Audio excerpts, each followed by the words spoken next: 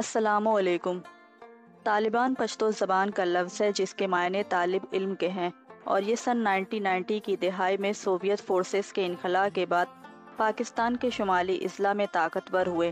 कहा जाता है कि ज़्यादातर पश्तून कौमियत के अफराद पर मबनी इस तहरीक ने मजहबी मदारस में सर उठाया, जिन्हें सऊदी अरब की जानब से इमदाद दी जाती थी और जहाँ सख्त गिर सुन्नी इस्लाम पर मबनी नफाज पढ़ाया जाता था। तालिबान की जानब से पाकिस्तान और अफ़गानिस्तान के सरहदी इलाकों में जिस बयानिए का प्रचार किया गया था, वो ये था कि इकतदार में आने के बाद इन इलाकों में अमन की बहाली और सिक्योरिटी यकीनी बनाई जाएगी। और इस्लामी कानून, यानी शरिया का नफाज यकीनी बनाया जाएगा। जनूब मगरबी अफ़गानिस्तान से तालिबान ने आहिस्ता आहिस्ता मुल्क के बेशतर इलाकों पर अपना असर असूख बढ़ाना शुरू किया और सितंबर 1995 में उन्होंने ईरान की सरहद से मुतसिल सूबा हरात पर बाकायदा कब्जा किया और इससे एक बरस बाद ही उन्होंने अफ़गानिस्तान के दारकूमत काबुल पर भी कब्जा कर लिया और सोवियत यूनियन को शिकस्त देने के बाद अफ़गान मुजाहिदीन के बानियों में से एक बुरहान उद्दीन रब्बानी को इकतदार से हटा दिया।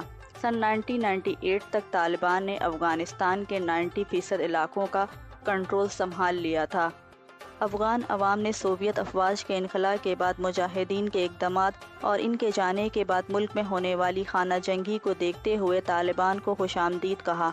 आगाज़ में इनकी शहरत की बड़ी वजह करप्शन के खात्मे के लिए इकदाम लाकानूनीत का खात्मा और इलाके में सड़कों के क़्याम और अपना कंट्रोल मज़बूत करने के लिए तजारत को बेहतर बनाना शामिल था। तालिबान ने इस्लामी सज़ाओं के नफाज का आगाज़ भी किया, जैसे कत्ल के मुजरिमों या जना करने वालों को सरेआम फांसी देना और चोरी करने वालों के हाथ काटना वगैरह शामिल थी। मर्दों के लिए दाढ़ी रखना और ख़वातीन के लिए बुरखा पहनना लाजमी करार दिया गया। तालिबान ने टेलीविज़न, मौसीकी और सिनेमा पर भी पाबंदी आयद कर दी और 10 साल से ज़्यादा उम्र की लड़कियों के स्कूल जाने पर पाबंदी आयद कर दी। तालिबान पर इंसानी हकूक़ और सकाफती खिलाफ वर्जियाँ करने का इल्ज़ाम लगाया जाता है। इसकी एक मिसाल सन 2001 में सामने आई, जब तालिबान ने वस्ती अफ़गानिस्तान में मारूफ बामयान बुद्धा के तारीखी मुजस्मे तबाह कर दिए। दुनिया की तवज्जो सही मायनों में तालिबान पर इस वक्त पड़ी, जब न्यूयॉर्क में 9/11 के हमले हुए। तालिबान पर इन हमलों के सरगना उसामा बिन लादेन और इनकी तंजीम अलकायदा को पनाह देने का इल्ज़ाम आयद किया गया। सात अक्टूबर 2001 को अमेरिका की सरबराही में इतिहादी ममालिक की अफवाज ने अफ़गानिस्तान पर हमला कर दिया और दिसंबर के पहले हफ़्ते तक तालिबान को इकतदार से हटा दिया गया था।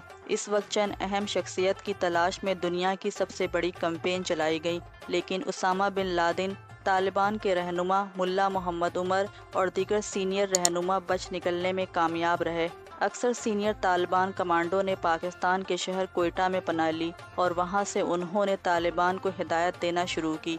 अफ़गानिस्तान में गैर मुल्की अफवाज की तादाद में इजाफे के बावजूद तालिबान ने आहिस्ता आहिस्ता अपना कंट्रोल वापस लिया और फिर इसमें इजाफे करते गए।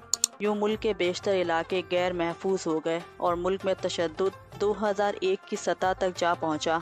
तालिबान ने काबुल पर मुतद हमले किए और सितंबर 2012 में नेटो के कैंपेन बेस्टियन बेस पर बड़ा हमला किया। सन 2013 में मुजाकरात के ज़रिए अमन के क़्याम की उम्मीदें कुछ देर के लिए इस वक्त बहाल हुई थीं, जब तालिबान ने कतर में अपना दफ्तर खोला था। दोनों अतराफ मौजूद अदम एतमाद में इजाफ़ा होता रहा और तशद का सिलसिला जारी रहा।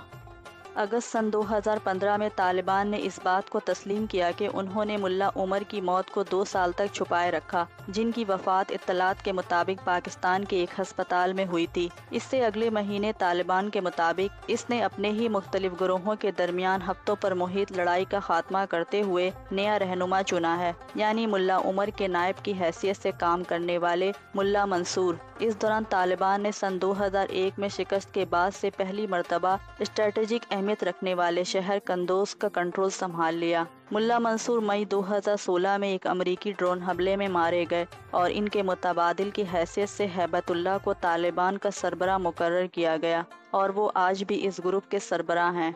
गैर मुल्की अफवाज की मौजूदगी और अफ़गानिस्तान सिक्योरिटी फोर्सेस की तरबियत और असलाह की फरामी पर अरबों डॉलर खर्च किए जाने के बावजूद तालिबान को ख़त्म नहीं किया जा सका और मुल्क के दूर दराज इलाकों में इनकी सरगर्मियाँ जारी रहीं।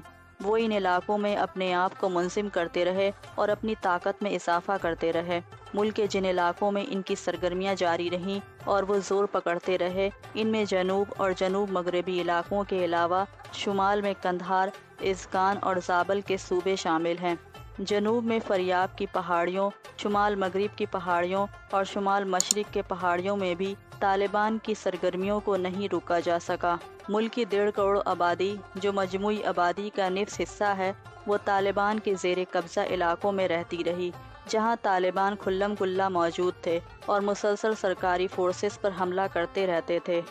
2020 में होने वाले माहदे के बाद एक बरस तक तालिबान ने अपनी हमत अमली तब्दील करते हुए शहरों और फौजी चौकियों पर हमला करने के बजाय टारगेट किलिंग का रास्ता अपनाया और अफगान सिविलियन में दहशत फैलाने की कोशिश की। अफगान हुकाम की जानब से बैन अवी मदद के बगैर तालिबान का मुकाबला न कर सकने के खदशात के बावजूद अमरीका के नए सदर जो बाइडन ने अप्रैल 2001 में ऐलान किया कि तमाम अमरीकी अफवाज अफ़गानिस्तान छोड़ देंगी। तालिबान ने 15 अगस्त तक मुल्क के 34 में से 25 से ज़्यादा सूबों का कंट्रोल संभाल लिया और मुल्क का कोई भी अहम शहर ऐसा नहीं जहाँ तालिबान का कब्ज़ा न हो। इस मरतबा की पेशकदमी में तालिबान की तवज्जा शुमाली अफ़गानिस्तान के इन इलाकों पर ख़ास तौर पर रही, जो इनके गुज्त दौर इकतदार में इनके जेर असर नहीं आ सके थे। और अब गैर मुल्की अफवाज के इनखला के आगाज़ के चंद माह बाद ही तालिबान ने फिर से दारुलकूमत काबुल सिम अफ़गानिस्तान के बेशतर इलाकों पर कब्जा कर लिया और एक मरतबा फिर अफ़गानिस्तान में बरसर इकतदार आ गए। वीडियो को लाइक करें, हमारे चैनल को सब्सक्राइब कर बेल आइकन ज़रूर प्रेस करें हमारी न्यू वीडियो सबसे पहले देखने के लिए।